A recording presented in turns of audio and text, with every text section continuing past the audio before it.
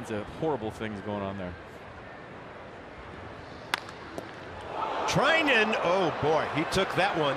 He recovers, but play, uh, Blake reacted like he was hurt and had the wherewithal somehow to pick the ball up and throw out the batter. It got him in the chin. I think he's bleeding. I think it hit him in the foot, hit him in the chin.